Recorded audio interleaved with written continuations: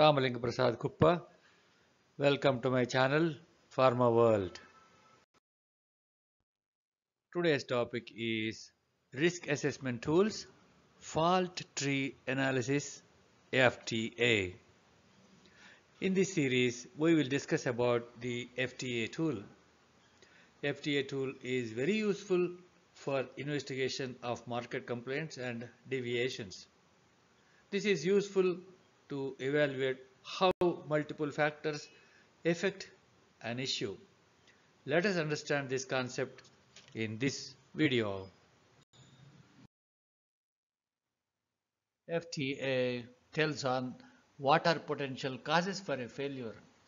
This tool evaluates the causes from top to bottom, the top being the final failure and it breaks down to several causes for leading to the failure one below the other and goes like a tree by design. This is like a failure occurred because of the cause in the next down level. FTA tells how the failure happened through study of several possible causes. For evaluation, the failure is placed on the top of the FTA tree and evaluated considering the causes scientifically one after the other with a basic question why. For example, there was a car accident on a dark night travel on a highway. The car hit an electrical pole and tumbled upside down. Now let us draw an FTA evaluation chart placing the car accident on the top of the tree. Basic reasons could be 1. The car was going at overspeed. 2. There was poor visibility on the road. 3. The driver may be inexperienced for a long night drive. 4. There could be a brake failure, etc. to name a few. So capture these reasons in the next level of the branches of the FTA tree. Let us evaluate the reasons for the first cause of overspeed. Why was the car at overspeed? The driver wanted to reach the destination early. Did he start late at the start? For second cause of poor visibility, were the headlights not glowing as required? Were there street lights on the road? Etc. For the third cause of driver's capability, was he not adequately trained on a long night drive? The fourth cause, failure of brakes could lead to poor maintenance of the car. So this type of evaluation goes on till you get possible reasons for accident. This evaluation helps to recommend a CAPA to address all the above deficiencies. FTA works in the opposite direction of FMEA. In FMEA, the logic goes how identified cause or combination of causes can lead to a failure. FMEA evaluation is opposite to FTA. Let us consider the same car accident case as above. If an inexperienced driver drives the car at overspeed, under poor visibility and equipment failure could lead to an accident. See how easy to remember the difference between the FTA tool and the FMEA tool. FTA is a retrospective evaluation whereas FMEA is upfront prospective evaluation. So it should be understood that FTA is a postmortem type of analysis whereas FMEA is upfront evaluation. I hope that this point is clear. You have to remember this. Let us see the objective of FTA.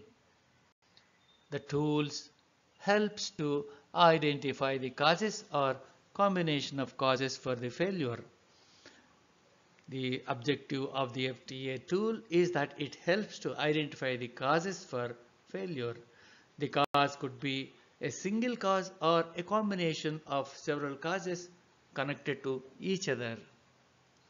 FTA relies on experts' process understanding to identify the scientific causes for failure. Obviously, process knowledge and product knowledge are must for the expert to evaluate the causes for failure. No external reasoning is accepted. It should be scientific always. External means a generic statement or a reasoning which is not scientific. FTA is a deductive method from top to the next down levels of analysis aimed at pinpointing the causes or combination of causes that can lead to the failure. The deductive reasoning starts from a general statement to reach logical conclusions. That means the failure statement breaks down to the logical conclusions. In the same above car accident case, the general statement is evaluated to a scientific reasons for the failure. Let us see some examples.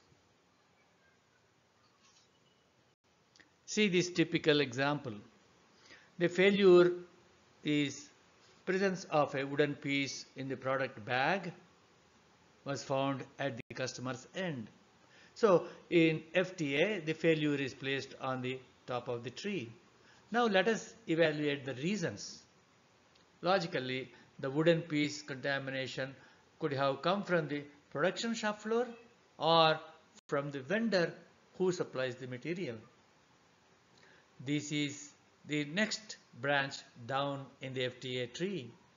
It is further breaking down into other potential causes in the next level. If there are wooden scoops or pellets used in the manufacturing and storage, there is a potential that the wooden pieces could have entered into the container. Same is the case with the vendor. There is yet another cause for the wooden piece contamination.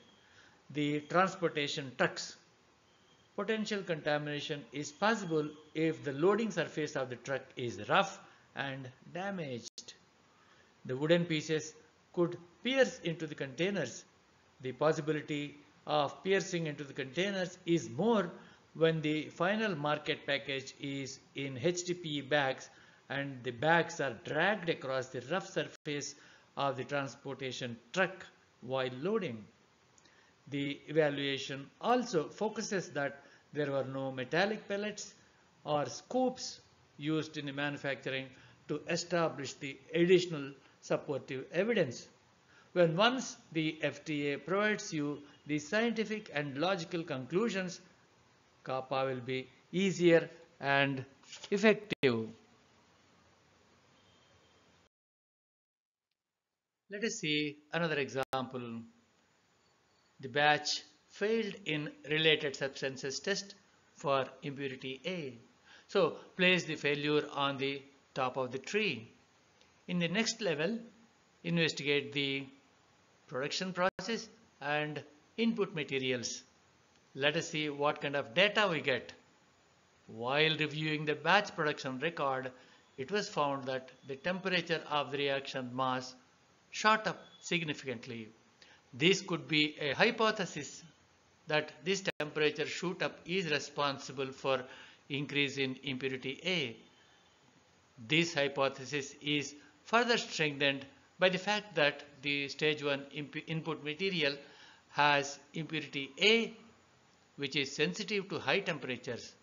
Further evaluation by the next stage reveals that there was a failure of heating system the input steam could not be controlled leading to rise in temperature significantly making the product fail in impurity A. On further evaluation in the next level, it was found that the preventive maintenance of the boiler was not carried out. Why was it not done was evaluated in the next level there was no specific requirement in the SOP to carry out the preventive maintenance for the heat generation system, the boiler. So the FTA identifies two major failure causes. One is the temperature sensitive input material in stage 1 and the other is the poorly maintained heating system. This is a simple example. So any failure should be addressed this way in elaborate way till you get the answers for each question why. But remember that any failure should be addressed through OOS investigation to negate the laboratory error. In stage 2 of the OOS investigation on production activities, all the above aspects have to be evaluated. Let us see another example. Final product yield was less by 10 kilos. This is a case of less yield in the product output. This can happen from a cause anywhere in the process. Let us examine. The product output was 10 kilos less than the standard. The next level of investigation could include a check on quality of input materials and process related. Check whether or not all the inputs were tested and approved by QC. If answer is no, continue the FTA type investigation with a different branch with this aspect on the top of the tree. If yes, go to the next stage of dotted line to the next level. Check the status of the material charges. Were they as per the BPR? If yes, go to the process review. If the reaction completion is established by in-process test, go to the next stage. Here, it is established that the reaction was complete and there was no possibility of loss of yield at this stage. Possible loss may be in the next level of investigation. Here, was there any physical loss of the material? If the answer is yes, go down further. Since it was a physical loss, the centrifuge bag and its filter bag should be the part of the investigation for potential causes. It is necessary to check if there were damages to the bag. If there were damages, the investigation should further subdivide into frequency of replacing the centrifuge bag to avoid such recurrences. If the answer to the damage of the filter bag is yes, go to the next stage. If the material had passed out into the mother liquor or the filtrate, the filtrate should be the part of the investigation. The mother liquor or filtrate may be evaluated for the presence of the product. Product mass balance may be established here. That means it should be checked whether or not the material present in the filtrate accounts to the last 10 kilos. Based on the investigation outcome, CAPA has to be recommended to recover the loss. See the depth of investigation here. Let us see other important points to note. There should be a clear reference in the market complaint procedure and deviation handling procedure on requirements to use FTA tool to establish the root cause.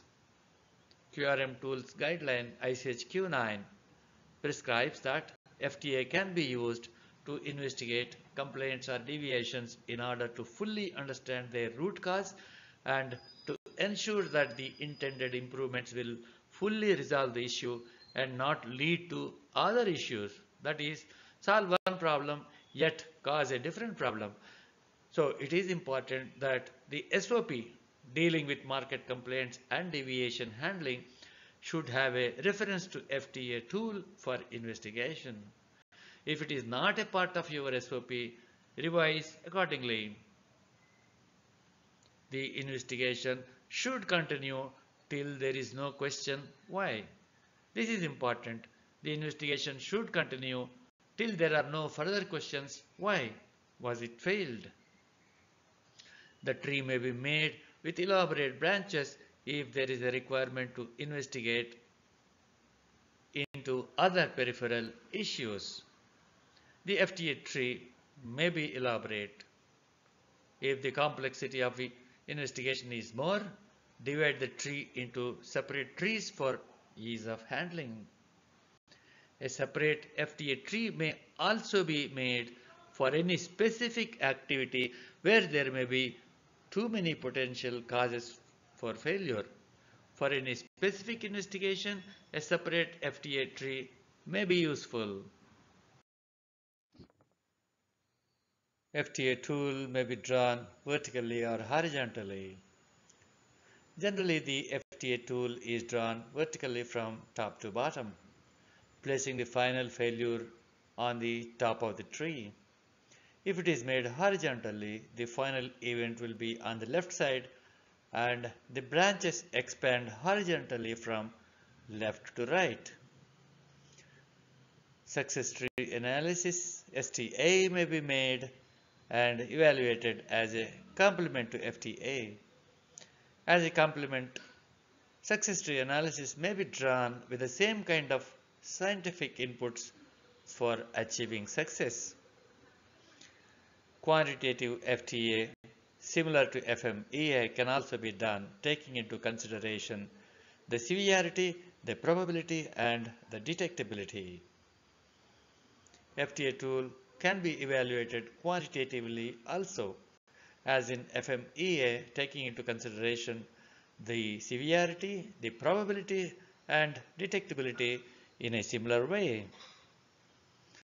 I hope that the examples of FTA are useful for practicing live investigations of any deviations or any market complaints.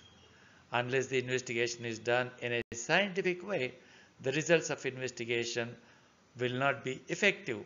These examples are simple and relevant to understand. Read IEC 61025 guideline also. It provides a wide range of content. Thanks for watching. For more videos, please do subscribe, like and share. Thank you.